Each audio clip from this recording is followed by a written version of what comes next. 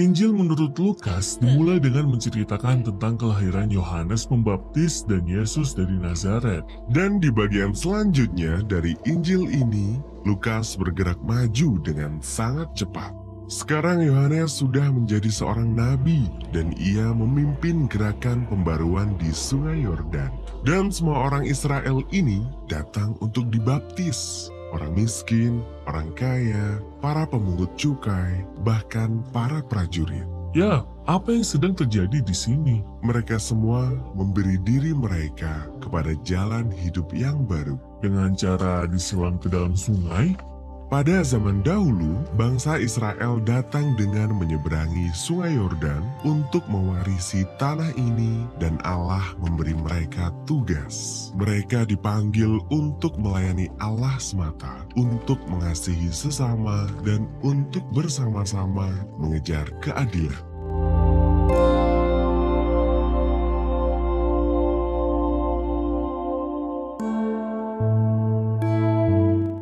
Dan dari kisah perjanjian lama, kita tahu bahwa mereka berulang kali gagal melakukannya.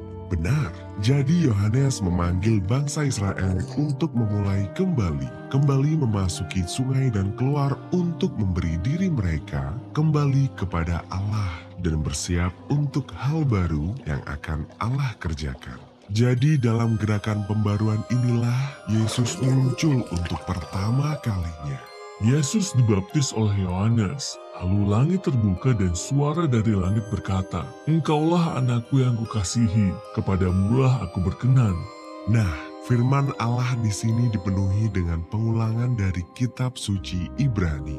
Baris pertamanya berasal dari Mazmur 2, di mana Allah menjanjikan seorang raja yang akan datang untuk memerintah di Yerusalem dan menghadapi kejahatan di antara bangsa-bangsa. Lalu baris berikutnya berasal dari kitab Nabi Yesaya yang merujuk kepada Mesias yang akan menjadi hamba, menderita, dan mati bagi Israel. Setelah itu, Yesus pergi ke padang gurun selama 40 hari tanpa makan. Wah, berat sekali.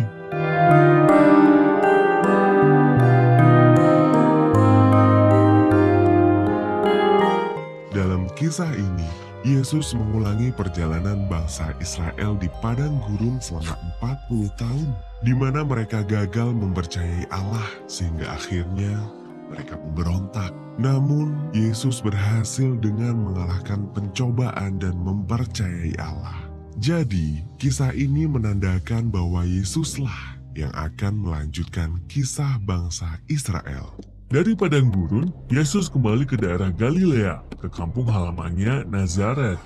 Ia berada di rumah ibadat dan diundang untuk membacakan kitab suci. Lalu ia membuka gulungan kitab Yesaya dan membacanya. Roh Tuhan ada padaku, oleh sebab ia telah mengurapi aku untuk menyampaikan kabar baik kepada orang-orang miskin. Kenapa orang miskin?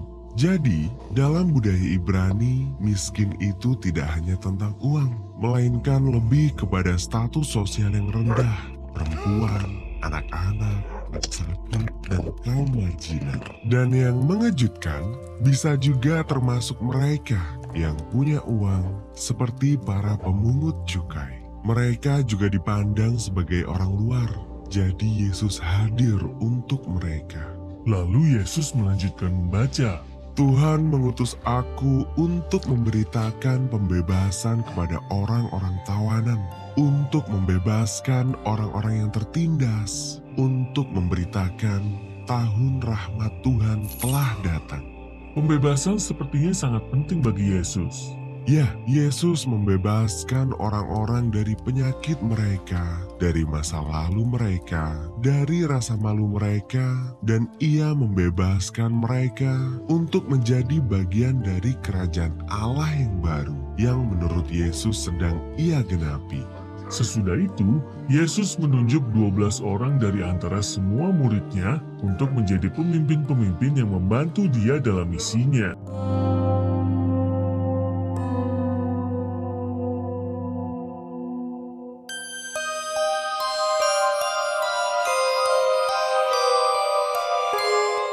Dan angka 12 itu memang dimaksudkan sebagai simbol dari 12 suku Israel. Namun mereka ini adalah sekelompok pria yang kumal, ada yang nelayan, ada mantan pemungut cukai yang dulunya bekerja untuk pemerintah Romawi, ada mantan pemberontak yang dulunya melawan penjajahan Romawi. Tidak mungkin orang-orang ini bisa akur. Ya, Yesus memang sengaja mempersatukan orang-orang luar dan musuh bebuyutan. Namun, dalam kerajaan Allah, mereka dipanggil untuk berdamai dan hidup dalam persatuan. Mengikut Yesus berarti memasuki tatanan dunia yang baru.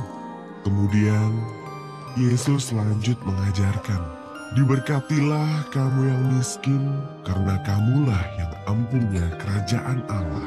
Berbahagialah hai kamu yang sekarang menangis karena kamu akan tertawa. Berbahagialah kamu jika karena aku orang membenci kamu. Yesus bahkan memerintahkan murid-muridnya agar mengasihi musuh mereka, agar mereka menjadi orang-orang yang bermurah hati, bahkan kepada orang-orang yang tidak mereka sukai, serta mengampuni dan berbelas kasihan. Ini gaya hidup yang radikal. Dan Yesus tidak hanya mengajarkan semua ini, ia juga berjanji untuk menjadi teladan. Ia akan sangat bermurah hati dan mengampuni dan mengasihi musuh-musuhnya dengan memberikan pengorbanan yang terbesar, yaitu dengan menyerahkan nyawanya. Kisah terakhir di bagian Injil Lukas ini sangatlah mengesankan. Yesus membawa beberapa muridnya ke atas gunung. Kemuliaan Allah tampak seperti awan yang terang, dan Yesus tiba-tiba berubah.